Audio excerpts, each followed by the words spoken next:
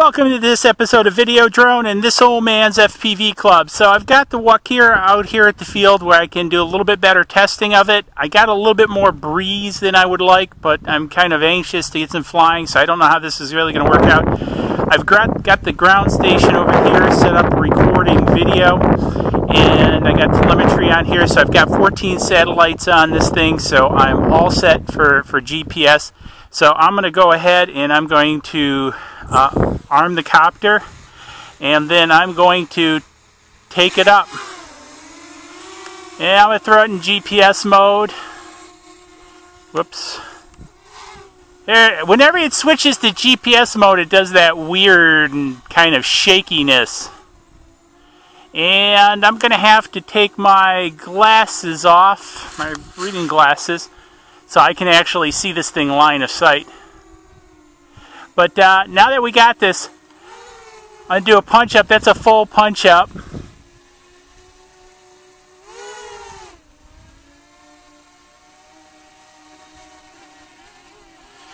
And its responsiveness is quite a bit different than, than uh, most quads. I'm kind of watching the FPV screen.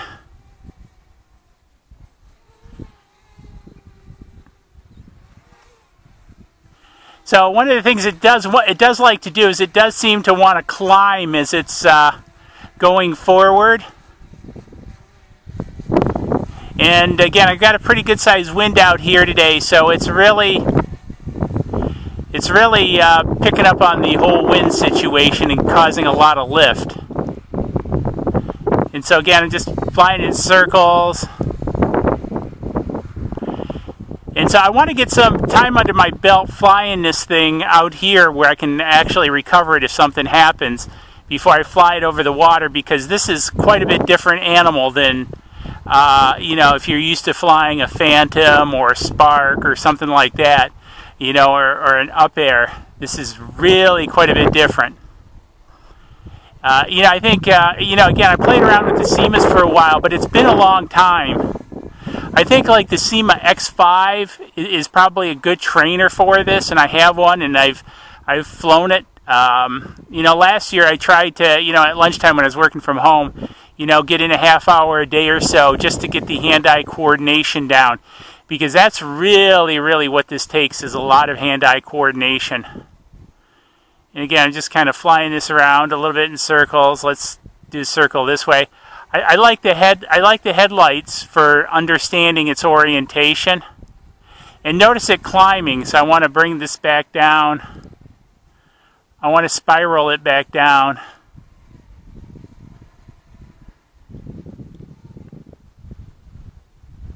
I think I, I, I want to bring it back this way. Having a little bit hard time seeing it. I want to bring it down.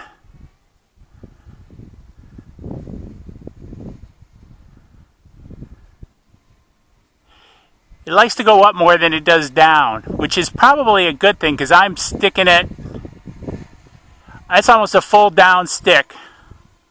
And it, it's coming down pretty slow. I want to let it sit there a minute. I want to check the uh, FPV and give my eyes a little bit of rest. So the FPV actually looks pretty good. So I've got the uh, mushroom antenna and I've got the panel antenna. I'm not doing anything too uh, crazy. I do have recording going, so you're seeing what the camera's seeing out there on the copter. And again, uh, it's got telemetry. Without my glasses, I really can't see it. But it, it's holding pretty good out there with regards to just staying there versus my test the other day. Um, and, and again, it's still even a bit windy and it's just really holding.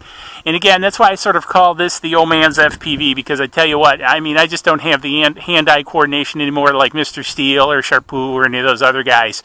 Um, you know, so I get sort of the enjoyment with the computer-aided assist. You know, one of the things I'm really kind of surprised is why can't this do automated flips, you know, sort of like the Symas do and, and a lot of the other cheaper quads. I know it just turns the motor off and flips it, but I wonder why couldn't have a flip button in something like this out of curiosity. Uh, so let's go ahead. But the, the one thing is that I'm having a hard time with is, uh, is the throttle, adjusting the throttle, managing the throttle.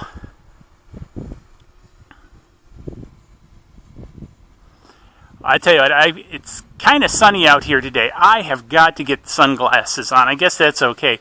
Because when I'm flying the Spark or whatever, which I was just in a previous video, uh, again, I have to be able to look at the screen. I need reading glasses to see the screen. So I want to see, I want to see how, I'm trying to look, I'm not sure where my battery indicator is on here or if it's showing it, because this screen is typically a little bit smaller than the, the uh, OSD screen. But it hit, man, see it hits that wind. Look at this baby. Angle of attack. You know, and I know a lot of you probably will uh, write me in there saying, you know, I need to take it out of GPS mode for better performance. And I tell you what, I want to learn how to fly this a little bit more before I just go take it out of GPS mode in, ATTI mode because uh, I just paid 300 bucks for this and I don't want to lose it. But but see, I'm really down sticking this thing, and this thing is really, you know, it really doesn't want to come down, especially when it's in forward motion it gets a lot of lift in forward motion. So we're bringing it right back towards us at a pretty high rate of speed.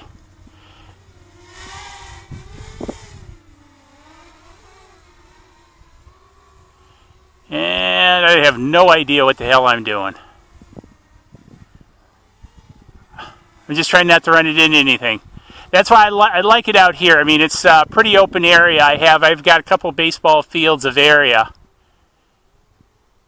and uh, so I can I can do a lot of stuff. Now notice this: I'm climbing even though I'm I'm down sticking because of the forward motion. So that's the one thing that, that I'm having a little bit of a hard time adjusting to. When I fly the Spark in sport mode, um, you know, it holds its it roughly holds its altitude. And what I'm really afraid of is this going down, and, and because I really didn't intend it to go down over there, and I'm not intending it to go up. Uh, I think, I, I wonder if there is a setting. Now, the instructions aren't too. I wonder what that switch setting does, if anything. The instructions aren't too too good on this thing, as far as uh, it basically shows you how to get it in the air, and that's pretty much about it.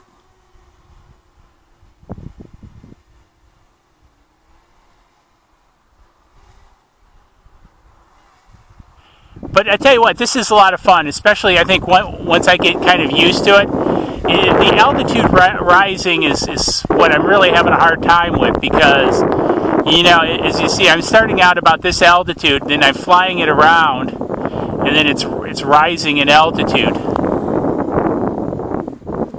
Because it, de it definitely picks up lift. And that, that's one of the things where a lot of quadcopters, if they're flying forward, they use less battery power because they're picking up lift, sort of like an auto gyro situation, I think. So if there's any aerodynamic engineers out there that want to elaborate down below, I'd be interested in hearing if that's the case or not, or if I'm just hallucinating. But but see, I'm not I'm not doing any upstick. And notice it climbed once it once it went into the breeze, it really just lifted up. And now that's hold mode and that's rising.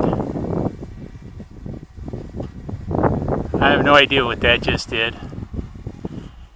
I'm just arbitrarily pushing switches on here and seeing what happens.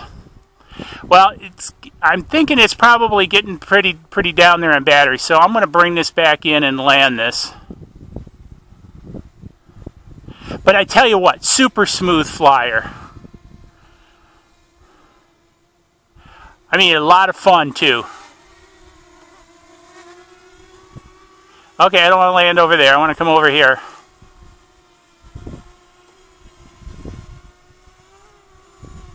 Now, see, see, it's it's being it's being uh, caught up in the wind a little bit.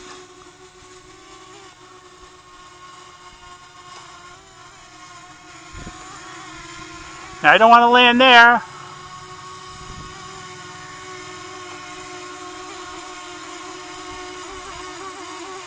Look, look, look at his jerking as I